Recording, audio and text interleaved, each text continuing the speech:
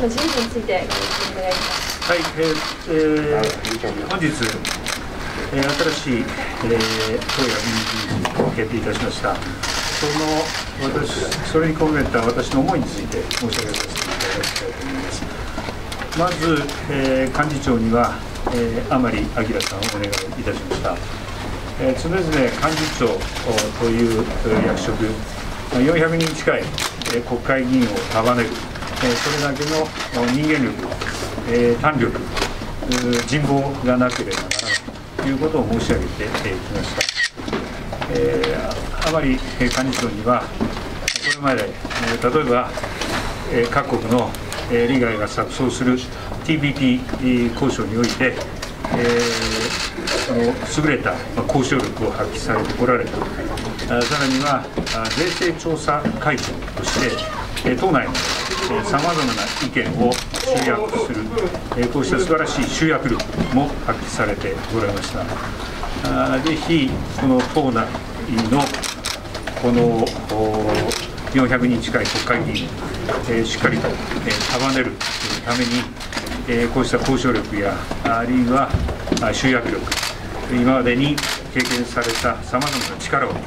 十二分に発揮していただければと思います合わせてこれから行われる選挙衆議院選挙参議院選挙においても陣頭指揮をしっかり取っていただきたいと思っております。そして政調会長については高市早苗さんをお願いいたしました。え、高市さんにはぜひこれからあこの野党とのさまざまな政策論争において、えー、しっかりと力を発揮していただきたいと、えー、思っています。まあ、総裁選挙を戦う中で、えー、高市早苗さんのお、えー、優れた弁舌力あるいは論理的な説明力さらには、まあ、討論力こうした力を感じていましたぜひこれから行われるこの衆議院選挙参議院選挙において、まあ、その党内のその経済ですとか外交安保をはじめさまざまな政策の取りまとめもしっかりやっていただきたいと思いますが、合わせて選挙において、野党とのこの政策論争、これは政調会長が、えー先えー、と先頭に立って行うことになるわけですが、こうした野党との政策論争においても、えー、力をしっかり発揮していただきたいと、えー、思っております。まあ、政策の中身については、あ高市政調会長、もうすでに1回政調会長を経験されておられますので、えー、しっかりとしたこの党内、えー、での意見集約も行っていただけるものと思っております。そして総会長については、福田達夫さんをお願いさせていただきました。あの福田さんには、うんぜひ自民党改革を私と共にしっかりと仕上げていただきたいと期待しております私は自民党の総裁選挙に戦うにあたりましてまずは自民党改革を進めて国民の信頼を回復しなければいけないこうした思いを訴えて立候補を表明させていただきましたそして単に改革といったその掛け声だけではなくして具体的なこの組織あるいはルールの変更、15項目にわたって、えー、自民党改革を訴えさせていただいた、こうしたことでありました。そしてこうした訴えをこの受け止めてくれたのも、えー、福田達夫さんが代表を務めておられる東風東風一新の会の皆さんでありました。えー、こうしてこの自民党総裁にならしていただいた以上、まずは強い覚悟で、え自民党改革に臨んでいかなければならないと思いますが、その際に、まずはその改革をリードするのは幹事長であるとは思いますが、最後は自民党総務会において、この改革を仕上げなければいけない、実現さしなければいけない、こういったことでありますので、福田総務会長には、この自民党改革の仕上げを私とともにしっかり取り組んでいただきたいと思っているところであります。えそしてそれ以外にはあ選挙対策委員長は遠藤利明さんをお願いしました。あ遠藤遠藤さんはあその人脈あるいは人望そして豊かな経験の中で党内においても敵敵がいないのではないかと言われるぐらい、え多くの方々からこの親しまれ、えー、そして、えー、評価されている人物です。ぜひ選挙に向けてさまざまな調整、も党内で必要となっています。えー、これまでの経験やその力をしっかりこの選挙対策という面において発揮していただきたいと思っています。そして、えー、と組織本部長、えー、大内優子さんに、えお願いをさせていただきました。えー、この組織団組織団体対策ということについては、まあ、従来は、えー、この、まあ、男性の世界という雰囲気が強かったように思っていますがしかし今時代は間違いなく変化しこの多くの組織団体においても女性の皆さんがどんどんと活躍をされているこうした時代の変化を感じていますぜひ小渕組織本部長にはこうした女性のこの感覚をしっかりと受け止めていただき自民党の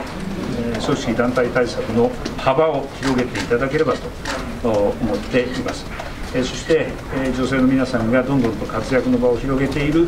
この組織との関係においても友好関係をしっかり作っていただければと期待をしております。そして広報本部長河野太郎さんにお願いしました。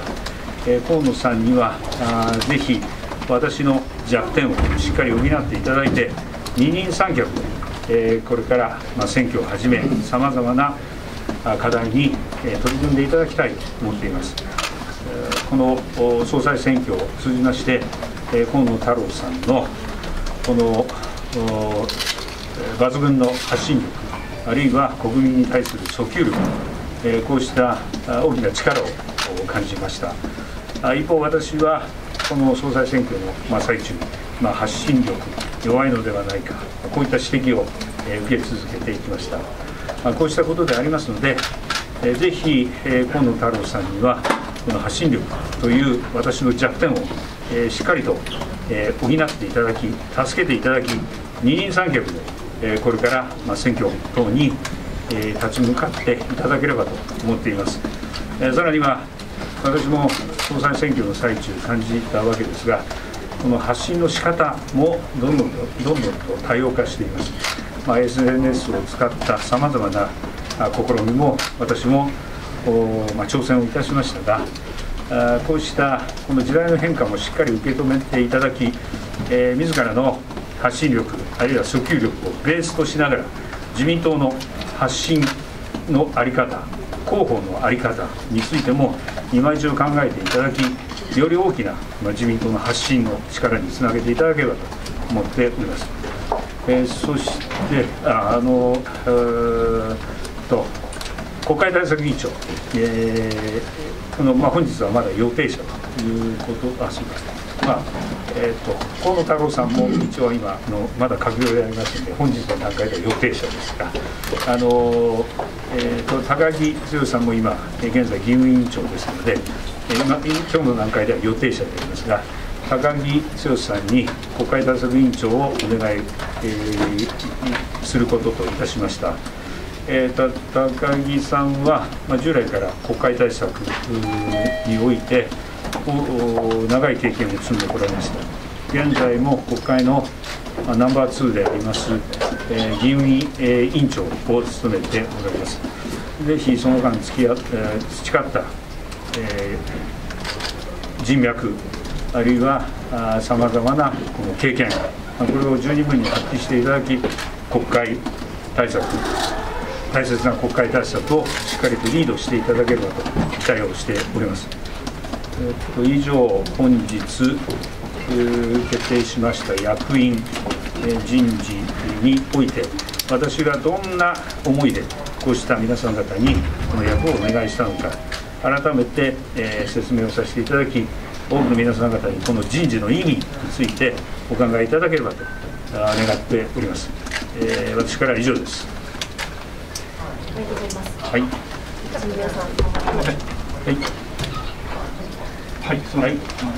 あの時事通信の水谷です。よろしくお願い。い。たします。あの人事について、あの総裁選を受けてですね、えっ、とこれはまあ、えーと報道での見方ではありますが、えっ、とまだ現状では起用されていないあの政策集団のえー方があったりとかですね、一部でえっ、と論功交渉ではないかとか、そういうような指摘もあります。えー、と挙党一致の体制をあの現状であの取れる人事なのかどうかという指摘もありますがあの岸田総裁としてはこうした指摘に対して今後まだ人事残っていますが内閣も含めてどのようにあの作っていきたいというふうに政権を思っておられますか？はい、おっしゃるように、今、人事はあ作業の最中であります。まあ、党役員の、えーまあ、主要なあ人事については今、報告させていただいたわけですが、党内においても多くの、えー役職があるわけでありますし、これから何よりも、閣僚人事について手をつけなければならない。えーこうしたことでありますし、副大臣はじめ、それ以外の人事についても、えーそれに続くわけでありますので、このお全体のこの人事の中で、えー皆さんに、うん、党の一体感、さらには共に衆議院選挙に臨もうという強い思いを感じていただける、まこうした人事を、え進めていきたいと思っております。ぜひこれから努力を続けていきたい、このように思います。ありがとうございます。はい聞あのちょっと関連するんですけれども、はい閣僚人事について、はいどういう基準とか狙いを持って人選を進めていくのかということでですね、人選のスケジュール、あとその価格の日程について教えてください。はい、えー、とまず、当然のことながら、えー閣僚人事において、えー私自身があ総裁選挙において訴えてきたさまざまな政策から、えーこれをまどう実現していくのか、どういった形でお手伝いただけるのか、まあこういったことについてしっかり考えた上で、えーこの人事を考えていかなければならない、こういったことだと思います。合わせてこの自民党改革を訴える中で、えー労組性のバランス、まあ特にまあ従来のバランスを考えると、えー中堅若手の方々をより、え登用することが大事だということを申し上げてきました。この労組性のバランス、特に若い方々の活躍ということもしっかり考えながら、人事を考えていきたい、このように思っています。で今後の日程については、あおそらく4日に、ま、国会が開かれまして、4日の日に主犯指名を受けたならば、組閣ということになるんだと想像しています。まあ、それ以後、まあ副大臣、あるいは大臣政務官の人事が行われていく、こういった日程をお私はイメージとして持っております。総裁すみません。はいあの朝日新聞のはい手紙申しはいます。あの甘利幹事長について、はいあの政治とお金の問題が取り沙汰されましたけれども、はい説明責任が済んだと。あの甘利幹事長については、あのご指摘のように、えー、かつて、えーっとおまあ、政治と金の問題についてご指摘がありました、そしてその後、その問題については、まあ、捜査が行われ、えーご本人も秘書の方も不起訴という、まあ、結論が出ていると承知をしております。まあ、そういった経緯について、まあ、さらに国民の皆さんから、えー疑問があったならば、えーご本人がしっかり丁寧に説明をしていく、えーこうした姿勢は大事だと認識をしております。すみません、中国新聞の樋口と申します、あの政調会長に起用された高市文さんとのですね。外交安全保障官の違いについて伺います、あの高市さん、これまでですね国防軍の創設、まあ、主張され保持を主張されたりあの被爆地として、えー、から設置されている岸田さんとはあのかなり異なる外交安全保障観をお持ちだと思うんですけどもあの今回その首相として進めていく外交安全保障政策ですね高市さんとどのようにこう折り合わせていくのかまた自らこう進めようとすることのお何て言うんでしょうか推進が果たしてできるのかどうか、そういうまあ懸念の声も出てますけれども、そのあたりについてあのですね、えー、まず政治家ですから、それぞれの政策において、自らの信念、えー、考えがある、これは当然のことです。しかし、えー、この政調会長をはじめ、役職は自分自分の思っていることを、えー、実現するという立場ではありません。党内えー、400人近い国会議員の中にもさまざまな意見がありそれをできるだけ集約して党として、えー、どういった、え、この方向を打ち出すのか。それをの集約の、えこの仕事をしていく。これが政調会長でありました。あの政調会長のみならず個人のレベルを考えたならばその400人近い国会議員みんな違うわけですから、えその中でどこまで、えーこの党内の意見を集約できるのか、まあ、これを頑張ってもらう、これが政調会長の役割であると思います。個人の違いを持って、えー、それをこの問題するというのは、少し、えー、このなんですか考え方として、えー、違うのではないかと私は思っています。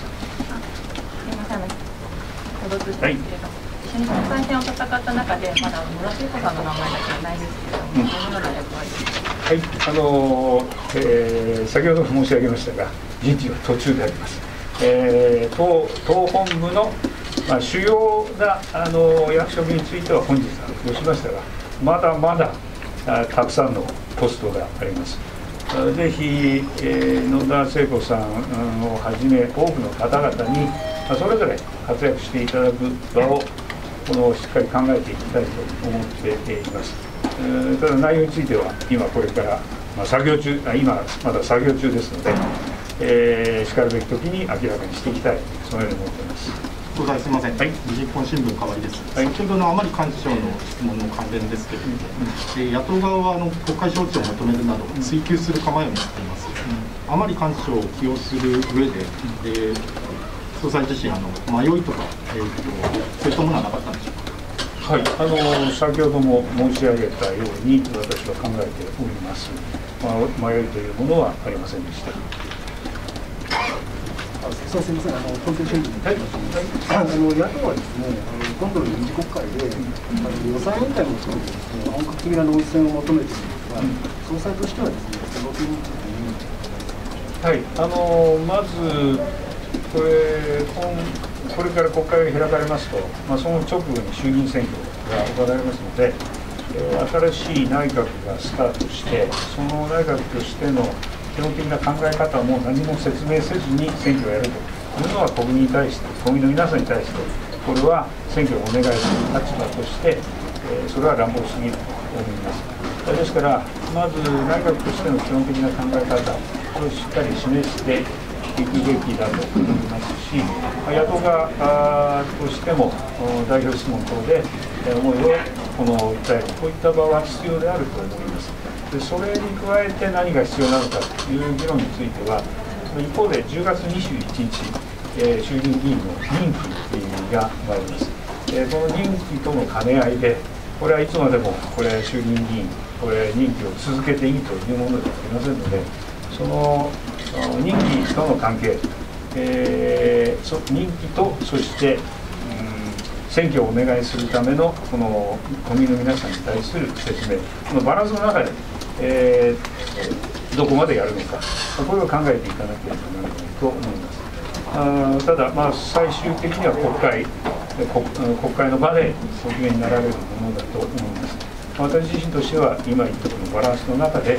えー、具体的な現実的な答えを出すべきであると考えています。すみません、相談。はい、最後お願いします。はい、事実の水谷はい。